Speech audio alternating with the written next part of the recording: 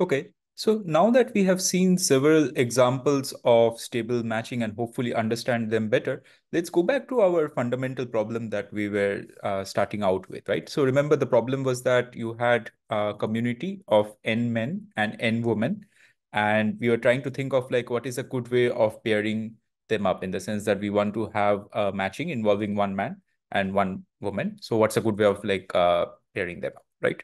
So there are several questions that naturally come up, right? One such question is that given preference structure, so given the information that we have about the community, about how each man ranks the different women and how each of the women ranks the different man, um, is there a way of always being certain of finding a stable matching system, right? That's one question. Uh, and even more fundamentally, uh, can do we actually know whether a stable division always exists for the matching problem, right? So remember that the answer for generally uh, kind of like pairing up things is like not necessarily yes, because we saw an example in the roommate problem where actually a stable division does not exist, right? But going back to this uh, matching problem involving the men and the women, is there a guarantee that a stable division always exists? And if so, how do we go about finding such a stable matching system? So in order to answer these questions, we are going to uh, look into this algorithm called the Gale-Shapley algorithm. And the answer is going to be that, yes, that uh, we can be sure that a stable division always exists for this matching problem involving the men and the women. And the Gale-Shapley algorithm is one way of actually finding that stable matching system. Another question that comes around is that uh, can we be certain that there is only one stable matching system? Uh, we already know the answer to this question, and the answer is no, right? We have already seen examples before where you have got uh, for this uh, pairing problem that there are actually more than one stable matching system, right? So that is something to keep in mind. So let's take a deeper look at this Gale-Shapley algorithm. So uh, it's actually an algorithm in the sense that it's a recipe, right? And it involves several stages. So in the first stage, every man is going to turn to the woman who is first on his list and proposes to her. Okay, so that's the first part of the first stage. Now, what are the women uh, going to do with those proposals? So every woman who receives more than one proposal selects her favorite from among those who have proposed to her, right? And tells the others that she will never marry them. So therefore, she rejects the others. Now, it is not the case that the uh, the woman has kind of like uh, kind of like decided to go that this is my final choice. What that does is that uh, every man who is not rejected is actually put on a waiting list of the woman to whom he proposed. So only at the end of the algorithm will the final pairing happen. Right now if uh if you are a man and you have uh, kind of like proposed to a woman and she has not rejected you she's going to be you are going to be put on the waiting list. Okay now, what happens in stage two? Uh, every man who was rejected in the first stage turns to the woman who is second on his list and proposes to her. Remember, in the first stage, every man had proposed to the basically the person who was the first on that list, right? Okay. Uh, what about the woman? So again, the same as in the first stage, every woman who receives more than one proposal, including any proposals that she had kept in the waiting list in the first stage, selects a favorite from among those, right? And puts him on her waiting list and informs the others that they are rejected. And now the Gale algorithm uh, procedure is going to call, continue in the following way. So in the third stage, again, kind of like every man who is rejected, and this might be either you would be rejected for the first time or the second time, is going to kind of like turn to the woman who is next on a uh, on his list and then going to propose, right? And similarly, the woman is going to kind of like act exactly before. So if you have more than one proposals, you are going to only keep the your favorite in the waiting list and reject others, right? And you're going to, we are going to keep on uh, following this procedure till the point as no man is rejected, right? And uh, at that stage, every man on the waiting list becomes uh, the partner, right? And the procedure is terminated. So this is how the Gale-Shapley algorithm works. But let's take a more concrete example just to fix the ideas, right? So as before, we have got uh, four men and four women, right? So the uh, alphabet letters which are small, right? So this uh, small a, small b, small c, small d, these are the men, and capital A, capital B, capital C, and capital D, these are the women. And if you remember, this is how the preference rankings were specified, right? So for example, on the left-hand side, what you are seeing, the first uh, column is saying that uh, Miss A ranks Mr. D as the best option, Mr. C as the second best option, Mr. A as the third best option, and Mr. B as the fourth best option, right? So that's how you interpret this thing.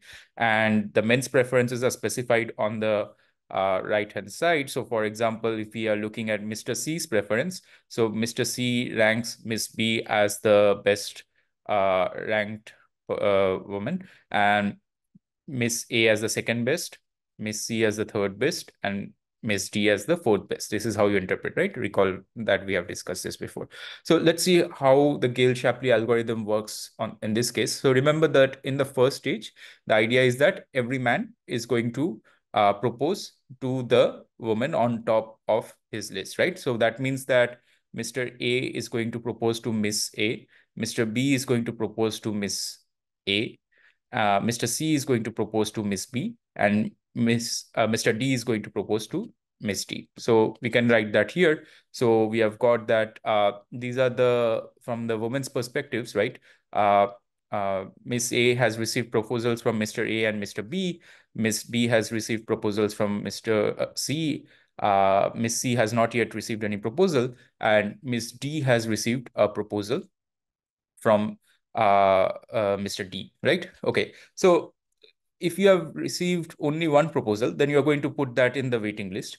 If you have received more than one proposals, you can only put one of these two names in the waiting list and the kind of like the second one you have to reject, right? So let's see from Miss A's perspective, what is she going to do? So she have received proposals from Mr. A and Mr. B. We can go back and see her preferences, right? So she ranks uh, Mr. A as third and Mr. B as fourth. So basically she's going to keep the Mr. A's proposal in the waiting list and she's going to reject Mr. B's proposal, right?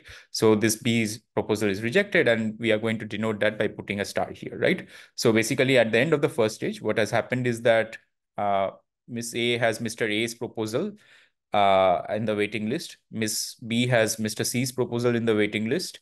Uh, Miss D has Mr. D's proposal in the waiting list and the proposal by Mr. B to Miss a has been rejected, right? That is the first stage. In the second stage, what's going to happen is that the person whose proposal was rejected, so this is Mr. B, he is going to actually go and propose to the second person in his list, right? So if we go back there, the second person is Miss D, right?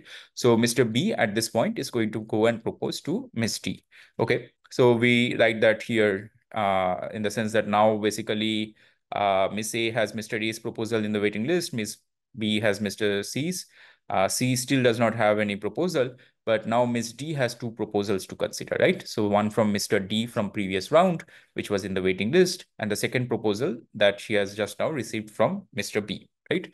So how does Ms. D compare these two proposals from Mr. D and Mr. B? So let's look at that. So Ms. D thinks that uh, uh, Mr. B is the second best that could have been proposed to her and Mr. D is the fourth, right?